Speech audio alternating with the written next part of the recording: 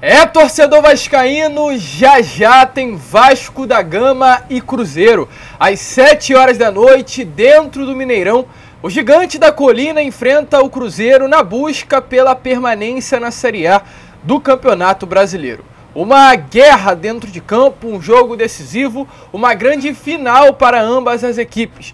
A equipe que vencer essa partida de hoje à noite muito provavelmente garantirá a sua permanência na primeira divisão do Campeonato Brasileiro. E além do mais, além de garantir a permanência, a equipe que sair hoje do Mineirão com os três pontos, muito provavelmente também garante a vaga na Sul-Americana de 2024. Então é um jogo que poderá virar a chave, tanto do Vasco quanto do Cruzeiro. Agora é ver quem conquistará os três pontos. E é claro, a gente vai trazer a vocês todos os detalhes desta grande decisão, falar sobre o Vasco da Gama, falar sobre a chegada no hotel na noite de ontem em Belo Horizonte, uma chegada que foi muito conturbada, atrasada. O elenco chegou no hotel na madrugada, inclusive desta quarta-feira, por volta da meia-noite e meia, uma hora da manhã. O elenco descansou, teve um período até curto, né, para isso, mas vai entrar em campo hoje visando esta grande vitória, este grande trunfo contra o Cruzeiro dentro do gigante da Pampulha. Além dessas muitas outras informações, falaremos também sobre o momento do Vasco da Gama na tabela, o momento do Cruzeiro na tabela, reforços que o Vasco da Gama tem para essa partida, falar também sobre os jogos marcantes deste confronto entre Vasco da Gama e Cruzeiro e muitas outras informações. É um pré-jogo do gigante agitado, movimentado, que com toda certeza deixará vocês muito animados com esse Vasco Cruzeiro que acontecerá às 7 horas da noite. Mas olha, Vascão, antes de começar esse vídeo, antes de deixar aí todos vocês muito bem informados sobre o nosso Cruz Maltino, como eu sempre faço aqui no canal, quero dar as boas-vindas a todos que estão chegando aqui pela primeira vez. Para quem ainda não me conhece, eu sou o Lucas e você está no canal do Gigante Vasco, o canal do torcedor vascaíno. E olha, Vascão, é o seguinte, você que está aí do outro lado ainda não é um inscrito no nosso canal, vem agora aqui embaixo e já se inscreva no canal do Gigante Vasco. Você que está aí à procura de um canal que fale de Vasco, de um canal que te deixe muito bem informado sobre o nosso Cruz Maltino, de um canal que, é claro, também tenha um conteúdo muito profissional, achou. Esse é o canal do Gigante Vasco. Estamos aqui todos os dias, três vezes ao dia. Acorda Vascão sempre às 7 horas da manhã. Fala Gigante às 2 horas da tarde. E o Boa Noite Gigante por volta das 8 horas, 7 horas da noite. E é claro, hoje, como é dia de Vasco, mudamos a nossa grade. Temos o Fala Gigante, mas é mais um pré-jogo do Gigante. E o pós-jogo do Gigante, sempre após as partidas do Vasco da Gama. Então, Fique muito atento, fique muito ligado, perdão, para que você não perca nada, se tratando de nosso, do nosso Vasco da Gama, aqui através do nosso canal.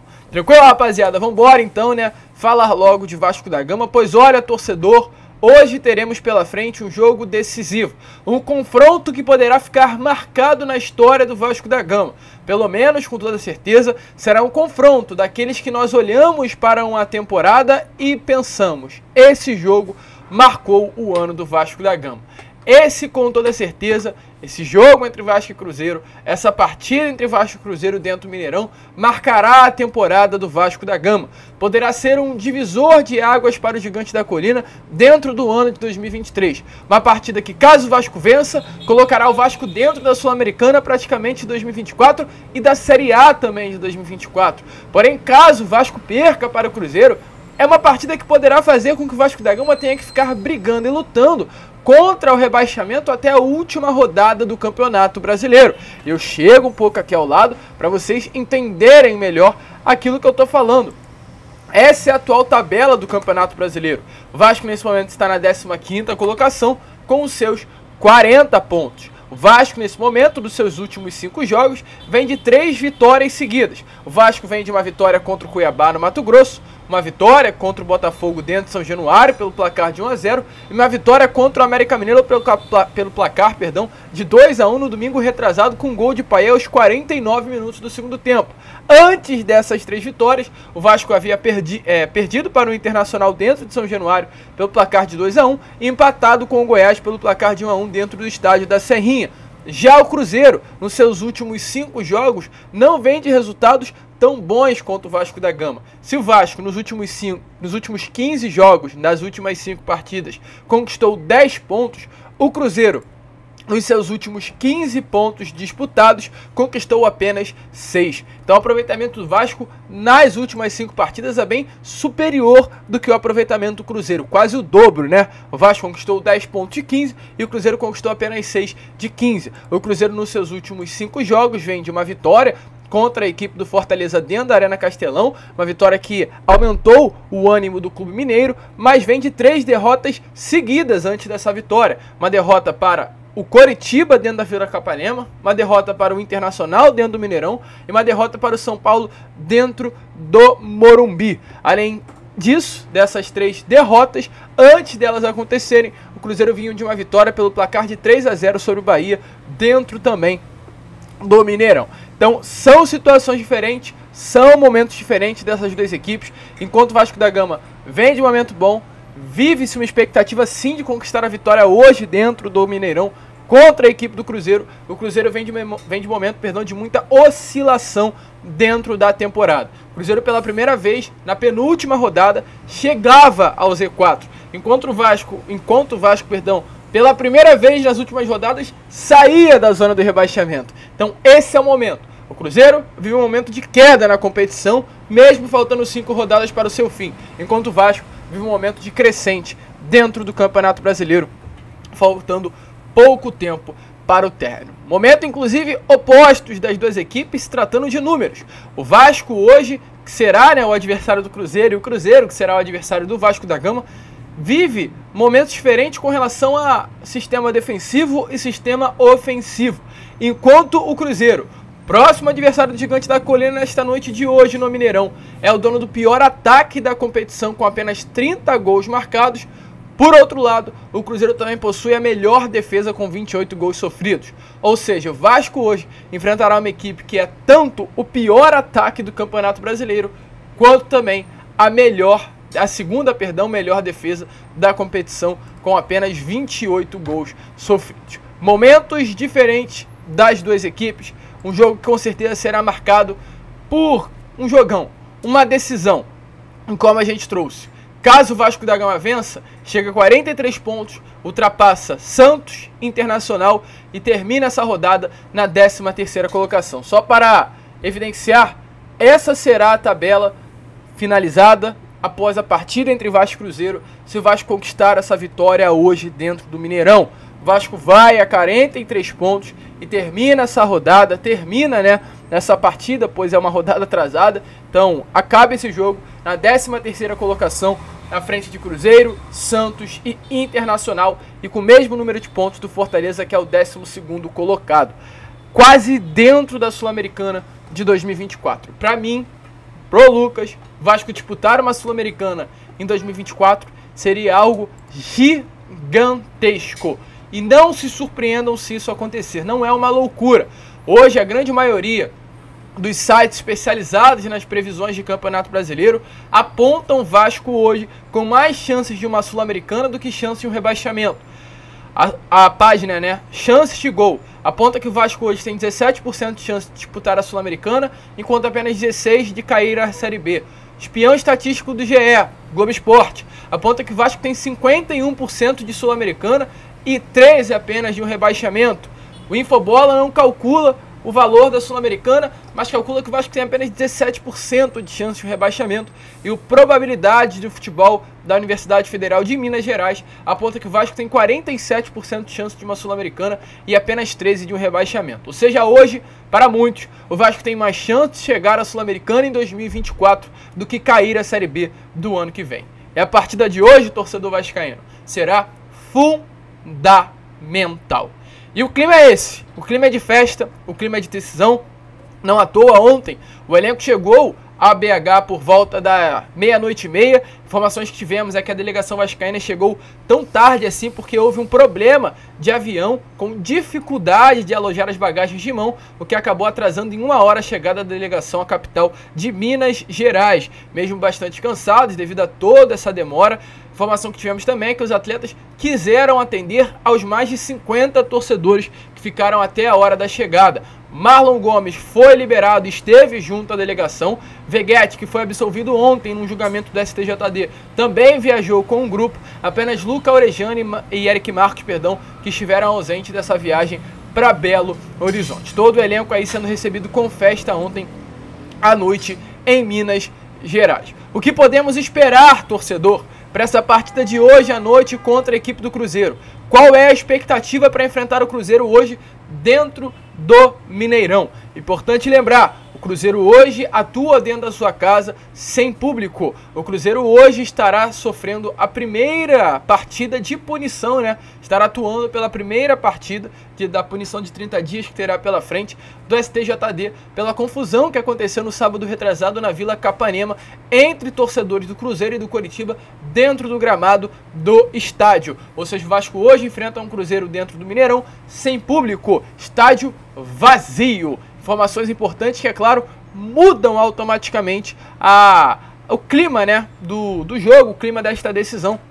Com certeza o jogo será grande, mas seria ainda maior, um jogo de ainda mais pressão para ambas as equipes se tivéssemos a presença do torcedor cruzeirense nas arquibancadas. Porém, devido a todo esse incidente, da forma mais justa que poderia ser, não teremos público hoje dentro do Mineirão. O Cruzeiro hoje estará na beirada de campo novamente com Paulo Autuori, o técnico interino. Ele é diretor técnico do Cruzeiro e estará aí liderando a equipe novamente na beirada de campo, assim como aconteceu no sábado passado contra a equipe do Fortaleza dentro da Arena Castelão. Informação aqui até legal sobre Paulo Autuori, não sei se vocês sabiam. Paulo Autuori é um técnico que já passou inclusive pelo Vasco, tem uma passagem mais recente, há mais de 10 anos atrás, no ano de 2013 quando comandou o elenco vascaíno ainda quando tínhamos Roberto Dinamite como presidente. Roberto Dinamite fez questão de trazer Paulo Autuori ao Vasco da Gama. No momento em que Paulo Autuori foi anunciado dentro de São Januário, ele confirmou que era um torcedor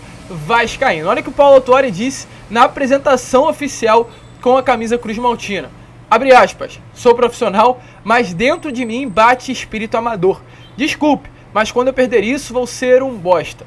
Dentro dessa situação, conheço a história do Vasco, porque na infância e na adolescência eu estava sempre nos jogos, mas isso jamais me, limitou, me limitou perdão, e me limitará nos clubes. Então, hoje teremos na beirada de campo do Cruzeiro um torcedor Cruz Maltino. Paulo Autuori é vascaíno. E a informação que temos sobre o lado de lá é que a expectativa é que Paulo Tuori, mesmo tendo condições de repetir a equipe que foi a campo contra a equipe do Fortaleza nesse último sábado, haja mudanças no sistema, na equipe perdão, titular do Cruzeiro. Chego aqui um pouco ao lado para vocês darem uma olhada de como o Cruzeiro vai a campo nesta noite de hoje contra o Vasco da Gama. Matheus Jussa volante cruzeirense, deve retornar à equipe titular após cumprir uma partida de suspensão. Machado hoje, o volante Felipe Machado é o favorito para fazer essa dupla de volantes no meio-campo cruzeirense. Ian Lucas, que foi titular contra a equipe do Fortaleza nesse último sábado, deve ir para o banco de reservas. No sistema defensivo do Cruzeiro, a zaga será mantida com Luciano Castan e Oliveira. Oliveira, lembrando, um atleta que já estava no Cruzeiro na Série B do Campeonato Brasileiro do ano passado, e Luciano Castan foi um dos grandes destaques do Coritiba no Campeonato Brasileiro do ano passado da primeira divisão e na Série B do Campeonato Brasileiro de 2021. Luciano Castan, um atleta que já estava no Coritiba há muito tempo e chegou ao Cruzeiro nesta temporada. Então, o time provável do Cruzeiro para enfrentar o Vasco da Gama nessa noite de hoje deve ser com Rafael Cabral, Oliveira, Luciano Castan, Marlon na lateral esquerda, que é um dos grandes destaques desse Campeonato Brasileiro da posição, William na direita, Matheus Jussi Machado no meio-campo, Matheus Vital à frente, Bruno Rodrigues, Nicão e Rafael Elias no ataque. Está fora do Cruzeiro hoje Lucas Silva, Rafael Bilu e Ramiro. Lucas Silva no departamento médico, um dos grandes destaques do Cruzeiro desta temporada. Jogador que vinha sendo uma peça fundamental para esse tema de meio-campo cruzeirense, que vai fazer muita falta para o lado de lá sobre o Vasco da Gama, o que temos a trazer sobre o nosso gigante da colina. Vasco deve ir a campo com duas mudanças em comparação com a equipe que entrou em campo contra o América Mineiro no domingo retrasado. uma mudança na lateral direita e uma mudança também na ponta direita. Na ponta direita, no jogo contra o América, tivemos a presença do Gabriel Peck, porém na ponta esquerda a presença do Alex Teixeira. Alex Teixeira substituiu no jogo contra o América Mineiro o Eric Marcos, que acabou sofrendo uma lesão na partida contra a equipe do Botafogo e nem viajou com a delegação para esse jogo de hoje contra a equipe do Cruzeiro e também desfalca a equipe no jogo do sábado que vem contra o Atlético Paranaense no Paraná. Porém, o Alex Teixeira não será mantido entre os titulares e o Rossi ganha vaga no sistema ofensivo. Porém, como o Rossi cai pelo lado direito do campo, Peck será movido para o lado esquerdo e o Rossi permanecerá no lugar onde se sente mais confortável atuando. A outra mudança acontecerá na lateral direita, com a ausência de Paulo Henrique pelo terceiro cartão amarelo, suspensão automática. Puma Rodrigues deve ganhar a vaga na posição. Deve não, ganhará a vaga na posição. Então, com isso, Vasco da Gama vai com um sistema que vem utilizando durante o Campeonato Brasileiro após a chegada de Ramon Rio Dias. Um 4-3-3, com Léo Jardim no gol, Medel e Maicon na zaga, Puma Rodrigues e Lucas Piton nas laterais, Zé Gabriel, Prachedes e Paulinho no meio campo, e no ataque, Rossi, Verrete e Gabriel Peck. Esse deve ser o Vasco da Gama que enfrenta o Cruzeiro hoje. Muito difícil ser alterada alguma coisa desse sistema ofensivo do Vasco da Gama. Importante falar que sobre o nosso gigante da colina, o Vasco contará com alguns reforços, né? O Medel, que era um nome que poderia ser desfalque nessa partida de hoje contra o Cruzeiro, pois estaria servindo a seleção chilena, está à disposição. Medel foi convocado, participou do, é, das eliminatórias da partida que teve na sexta-feira passada contra a equipe do Paraguai. E a expectativa é que também Medel viesse a participar da partida que teve ontem entre Chile e Equador. Porém, na partida da última sexta-feira, o Medel acabou levando o terceiro cartão amarelo e automaticamente ficou de fora desse jogo que aconteceu ontem.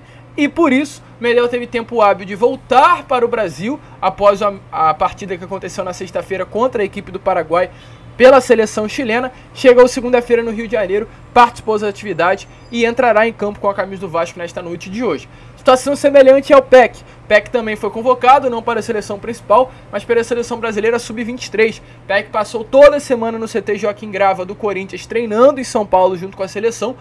Foi liberado na segunda-feira, treinou com o grupo na terça e ontem já esteve presente viajando junto com, a, com o elenco né, para Belo Horizonte estará também à disposição para esta partida de hoje. Outro nome que também o Vasco ganha como, entre aspas, um reforço é o Verrete, porque ficou nessa dúvida se após o julgamento o Verrete conseguiria atuar com a camisa do Vasco, mas deu tudo certo, o STJD absolveu o atacante argentino, ele estará liberado para enfrentar a equipe do Cruzeiro nessa noite de hoje. Então o Vasco vai quase né, com força máxima para enfrentar o Cruzeiro em BH nesta grande decisão do Campeonato Brasileiro. É vencer e sonhar com a Sula e fugir do rebaixamento. Uma derrota, porém, pode colocar o Vasco numa situação muito complicada neste Brasileirão. Não há outra situação. É entre a cruz e a espada. É entre o céu e o inferno. É vida ou morte para o gigante da colina. E olha, Vascão, recordar é viver, relembrar é viver, como você preferir falar. Porque as últimas partidas decisivas entre Vasco da Gama e Cruzeiro foi marcada por um lado positivo para o nosso Cruz Maltino. Os dois últimos jogos que marcaram, pelo menos no Campeonato Brasileiro da Primeira Divisão, foram nos anos de 2017 e 2019. O Vasco atuou também contra o Cruzeiro no ano de 2018, mas não ficou tão marcado assim. Após o ano de 2019, o Cruzeiro caiu e as duas equipes só se encontraram né, na Série B do Campeonato Brasileiro. Houve um encontro nesse primeiro turno também em São Januário, onde o Cruzeiro conseguiu conquistar a vitória no gol de falta no final do primeiro tempo. Mas sobre um jogo decisivo em si de Campeonato Brasileiro da Primeira Divisão, fica positivo as recordações para o torcedor Cruz Maltini. Em 2017, o Vasco da Gama venceu a equipe do Cruzeiro dentro do Mineirão. Uma situação muito semelhante é o que acontece, acontece nesse momento, né? O Vasco brigava para não cair a Série B do Campeonato Brasileiro durante todo o campeonato, porém em determinado momento do ano chegou o Zé Ricardo no Vasco da Gama. O Zé Ricardo chegou no Gigante da Colina e virou a chave do Cruz Maltino.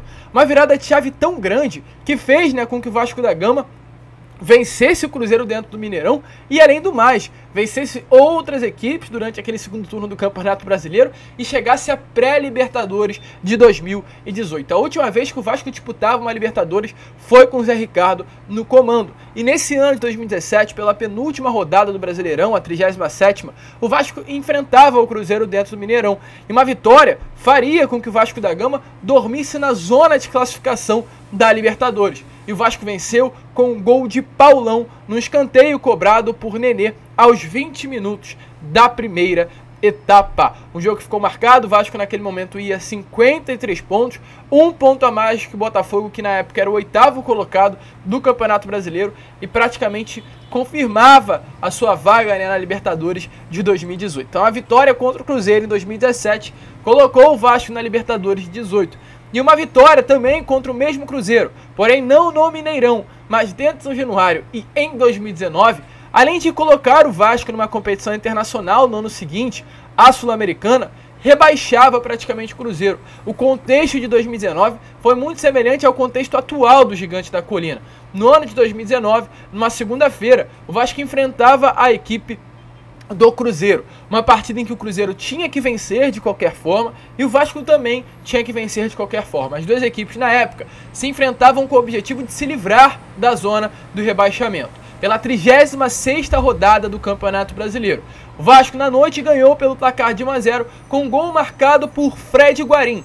A vitória fez com que o Vasco matematicamente se livrasse do rebaixamento e se colocasse muito perto da Sul-Americana de 2021. E a derrota para o Cruzeiro fez com que a equipe de Minas Gerais se afundasse numa crise sem fim. O Cruzeiro ficou muito próximo daquele primeiro rebaixamento de sua história no ano de 2019 após a vitória do Gigante da Colina pelo placar de 1 a 0. Vasco colocou o Cruzeiro praticamente dentro do abismo. Fez com que o Cruzeiro caísse a Série B do Campeonato Brasileiro na temporada e dessa vez né, a história se repete.